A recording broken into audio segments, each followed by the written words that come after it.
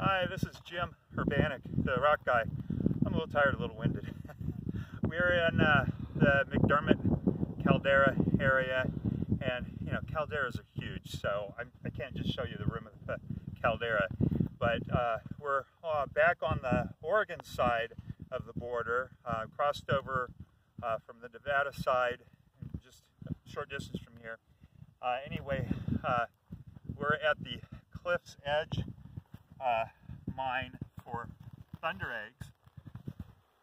And uh, I'm just going to back up to the edge of the cliff here. I'm terrified of heights, so just you know, let me let me know if I'm going to go over the edge. And uh, uh, no, I'm just messing with you.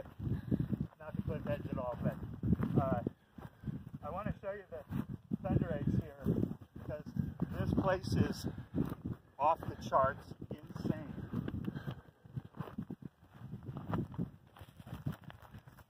So you don't need any tools of any kind to pick up thunder eggs here. I mean, you can dig them out of the hillside, but is that nuts? Look at that. That is pure craziness. You're finding clusters like this everywhere. Uh, the, this is on a claim, on a federal claim. The folks that have kindly left this open for people to dig here do ask that you respect the land, you don't leave your trash here, and you backfill your holes, please. Um, and that should apply to any place that you're digging at. Don't be a jerk. Uh, so come on in, let's take a closer look at some of the material here. Uh, there's red plume agate and some of this stuff, and you know, when these get cut on a saw, you're going to see some that have this beautiful agate. I suspect that this will actually fluoresce under a UV light. Um, like I said, there are lots, lots of these that are doubles, triples, quadruples. I don't even know what to call the one I just had in my hand before. Um, you can see this one that's broken open on the end cap. There's some nice agate in there. Uh, just some really nice pieces. So, uh, words of advice, if you're digging, uh, sorry, we're about 55, 5,600 feet. I, we may be even higher than that. And we've been digging, so I'm a little winded. Uh, but, you know, be respectful of the land.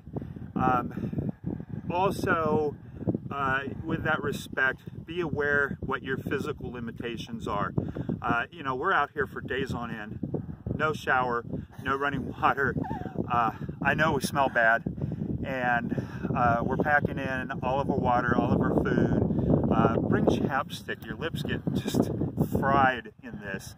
Wear sunscreen, wear the glasses. The glasses not just for the sun, but also to protect your eyes when you're digging. You only get two of them. Um, bring the right tools, bring the right clothes. Uh, we were down in a, a, canyon earlier today and we came across a rattlesnake skin that it had shed. There are rattlesnakes here. Uh, be cognizant of your environment and just don't go stomping around. Uh, if you're you know, in places where you're unsure and you just can't really identify things that are around you, uh, it's okay to toss rocks in front of you. It'll startle rattlesnakes. Um, so uh, this is Jim Urbaniak, the Rock Guy, signing off. Enjoy.